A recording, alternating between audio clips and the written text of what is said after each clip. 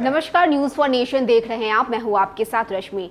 Corona महामारी के बीच भागलपुर विधायक और कांग्रेस विधानमंडल दल के नेता अजीत शर्मा, भागलपुर के जवाहरलाल नेहरू कॉलेज हॉस्पिटल पहुँचे, जहाँ उन्होंने हॉस्पिटल का निरीक्षण किया और यह जानकारी दी कि मरीजों को किस तरह की असुविधा है, क्या कुछ कमी है मरीजों के बीच में और अस्पताल में किस तरह के इंतज़ाम है, इन सभी चीज़ों का मुहैया करने के लिए वह भागलपुर के अस्पताल पहुँचे और वहाँ पहुंचकर उन्होंने देखा कि मरीजों की हालत कैसी है। यहाँ तक कि उन्होंने मरीजों से भी बात की, जिसमें मरीजों के द्वारा यह कहा गया कि उन्हें अब ऑक्सीजन की कमी हो रही है, वहाँ पे ऑक्सीजन मुहैया नहीं करवाया जा रहा है। तो वहीं जब अजीत शर्मा ने वहाँ के प्रबंधन को कॉल किया तो वो फ़ोन भी रिसीव नहीं कर रहे थे, वह वहाँ बात करना चाहते थे डॉक्टरों से, लेकिन कोई भी बात करने के लिए सामने नहीं आया।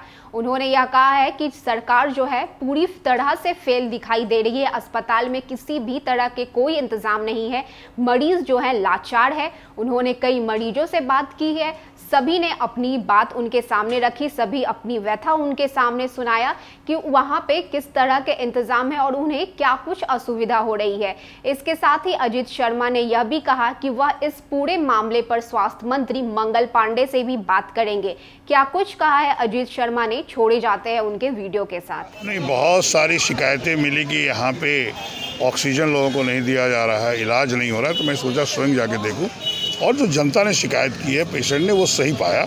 आपको बहुत लोगों को तो ऑक्सीजन डिमांड पे नहीं मिल रहा है। और जब बात होती है, आज मैं फ़ोन लगा रहा हूँ, सुप्रिटेंडेंट को, सुप्रिटेंडेंट कार्यालय में भी नहीं है और ना फ़ोन उठा रहे हैं। ये तो बहुत ही बदतर स्थिति है और अभी देखा मैंने एक कटिहार से पेशेंट आया था, कोविड पॉजिटिव मैंने बात की उससे।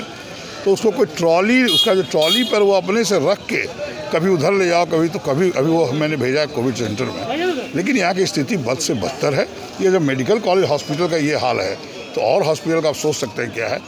हम तो माननीय मुख्यमंत्री से कहेंगे, स्वास्थ्य मंत्री बिल्कुल संज्ञान नहीं ले रहे हैं, कहीं भी कोई इलाज सही ढंग से नहीं हो रहा है। लोग की मौतें हो रही हैं।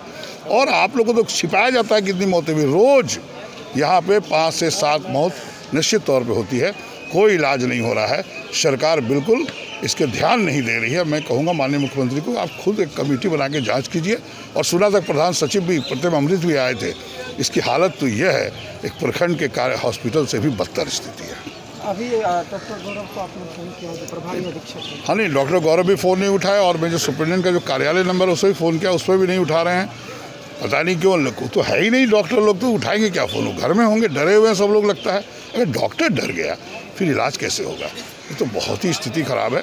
मैं तो अभी यहाँ से निकल के जाऊँगा स्वास्थ्य मंत्री से बात करूँगा कि साहब ये भागलपुर मेडिकल कॉलेज हॉस्पिटल की हालत जाके पता लगाइए कमेटी बनाइए और इलाज को दुरुस्त करने का काम किया नीतीश ने कल ही कहा कि सिलेंडर काफ़ी संख्या में अवेलेबल करवाया जा रहा है। वही फेसबुक और सोशल मीडिया के माध्यम से युवा यहाँ पर प्लांट लगवाने की मांग कर रहे हैं। क्या लगता है? भाई प्लांट ऑक्सीजन पहले मुहैया तो कराइए, लोगों को ऑक्सीजन तो मरे मृत्यु होगी। अभी अभी लोगों ने बोला कि ऑक्सीजन नहीं मिल रहा है। जनता ने बताया पेशेंट ने बताया, इसलिए ऑक्सीजन का मात्रा नहीं है। तो ये मुख्यमंत्री जी खाली बोलने से नहीं होगा सोशल मीडिया फेसबुक पे।